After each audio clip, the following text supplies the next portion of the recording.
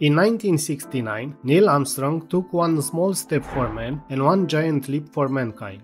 But wait, did he really? Some people still believe the whole moon landing was a hoax. Are these claims true or just wild theories? In this video, we're going to take a closer look at the most popular conspiracy theories about the moon landing and explain why they still exist today.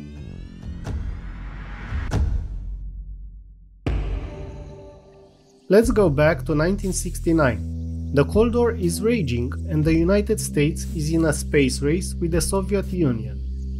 Landing on the moon was about more than just science.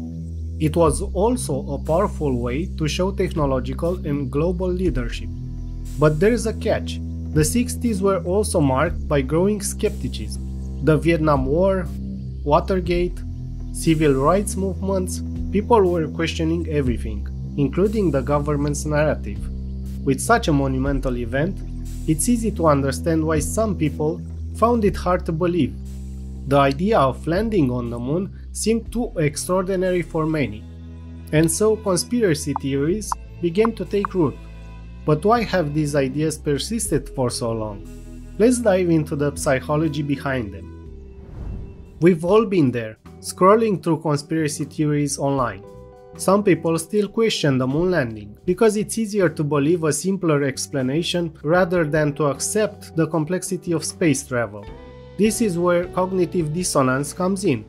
When conflicting ideas clash, our brains resolve it by clinging to what feels more comfortable, even if it's false. For many, a stage event of Earth seems more plausible than astronauts floating in space. This desire for simplicity is why conspiracy theories can be so appealing.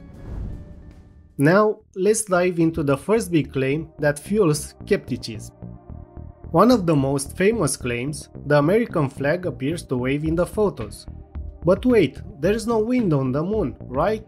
So how is this happening? Here's the reality. The flag was designed differently from a typical flag. It featured a horizontal pole at the top to keep the flag extended, due to the moon's lack of atmosphere and wind. What you're seeing is the astronauts handling it. Without an atmosphere, once the flag moves, it stays in that position, giving the illusion of waving. And here's another interesting tidbit. When the flag was initially packed for the trip, it was folded tightly. This means that most of its shape was retained in the vacuum. Why does this confusion persist? It all comes down to expectations. We know flags wave in wind, but on the moon it behaves differently. When things don't align with what we expect, our brains try to explain it away. But the reality is much simpler than many believe. Our brains are wired to notice inconsistencies. When things don't match our expectations, we instinctively try to resolve the discrepancy. This search for answers can keep conspiracy theories alive. Next up, shadows. If you take a closer look at the moon photos, you might notice something odd. Some shadows don't line up the way you would expect. Some conspiracy theorists argue that this means there must have been multiple light sources, like in a film studio, suggesting that the photos were staged. Here's the reality the moon's surface is drastically different from Earth's. First of all, it's rough and uneven, full of craters, rocks, and hills. That means the landscape itself can cause shadows to appear at different angles and intensities. But here's where it gets interesting. On Earth, sunlight spreads out when it hits the surface. This happens because of our atmosphere.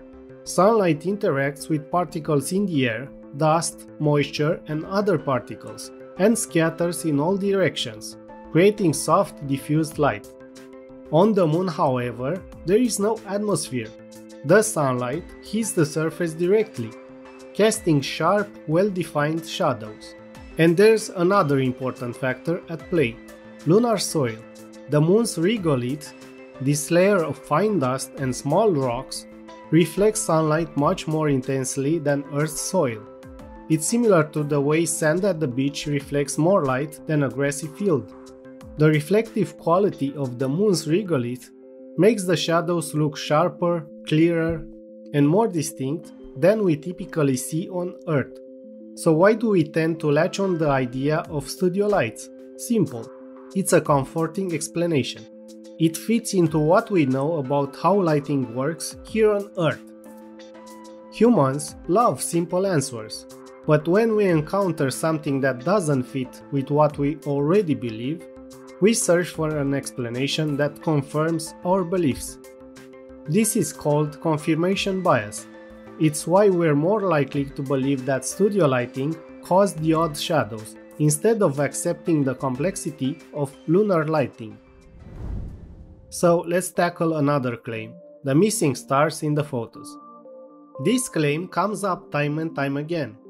No stars in the lunar photos. Skeptics argue that the absence of stars proves the photos were taken on Earth. But here's the simple answer. The cameras used on the moon were set to expose for the bright lunar surface and the astronauts in the foreground. Stars are incredibly dim compared to the bright surface, so they simply didn't show up in the photos. Think about it this way. Imagine trying to take a picture of a candle during the day you won't see the flame because the sunlight is way too bright.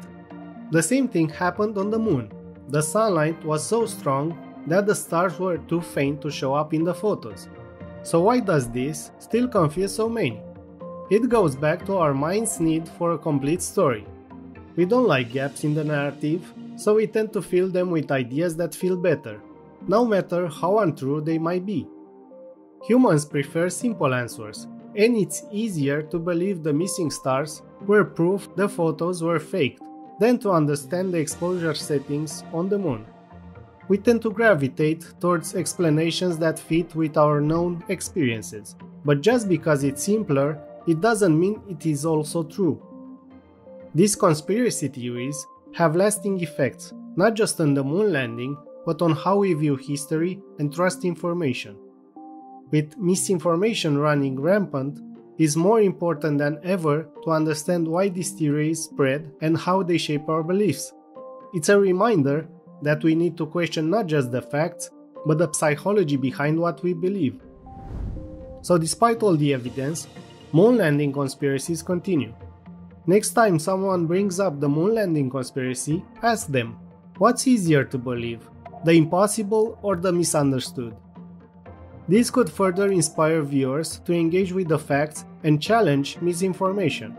If you enjoyed this deep dive into the moon landing theories, don't forget to like, share, and subscribe. There's a whole universe of fascinating topics waiting for us. Join us for the next adventure.